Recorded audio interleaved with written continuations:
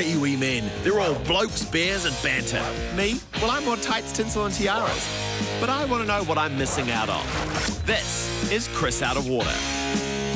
In New Zealand, there's literally nothing cooler than getting out of town, hitting the beach with your board, and catching a sick, fat, big-ass wave. Which is why I'm here at Piha, New Zealand's most dangerous beach, to learn how to surf for the very first time. What a perfect, flawless plan. Let's have a beach trip, baby! Woo! Luke, is that? Oh, yeah, hey? Hi, I'm Chris. You're gonna teach me how to surf today? Well, yeah, I guess that's the idea. I don't know how to surf at all, Yep. and if I'm being honest, I'm shitting myself a little bit. You might have to give me mouth-to-mouth resuscitation by the end of the trip. But at least, Yeah. even if I don't drown, maybe even just a kiss goodbye. maybe, we'll see Oh, how... we'll see how we go. These are my skins, mate. Is that what you say? Hit the surf, dude. Right as fatty. Oh, sorry. That's that with a pH. You're quite, quite trim. Let's get into it. Why do I go in there? Oh, cut it. It was tiring watching you do It's that. tight.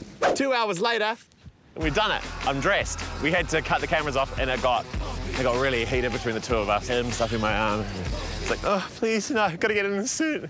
Tell me a little bit about surf culture. With those Shaka!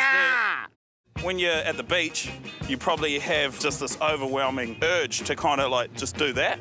Yeah. But the, right. the key is to, to fight back that urge and just never, ever do that. Really? Just never do Why? it. Why? What happens if you do this? Uh, you look like a, a gang member a little bit.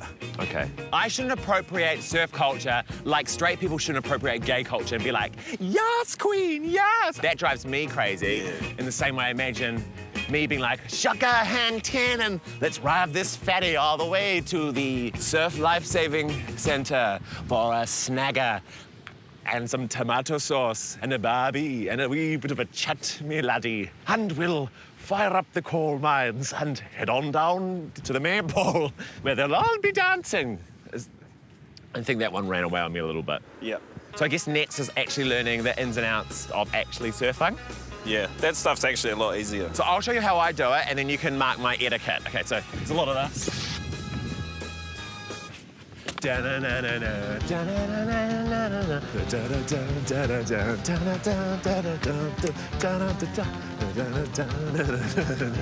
What would you give me out of 10 for that? I don't know, four or something? I've nailed it. Cue slow motion surfer montage as we walk to the waves.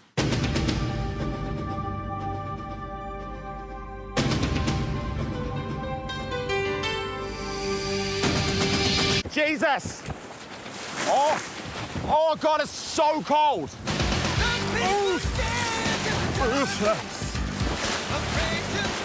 Yeah, this'll do, I reckon. I reckon Right. you can get away with it.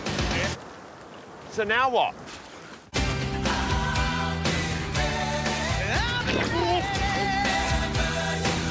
Go!